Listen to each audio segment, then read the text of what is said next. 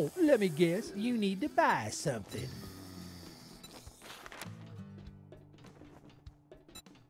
Listen up, jackass. You want work? I've had enough of your bullshit. Hey, jerk, you need some work or what? Unbelievable. You, let's make a pact.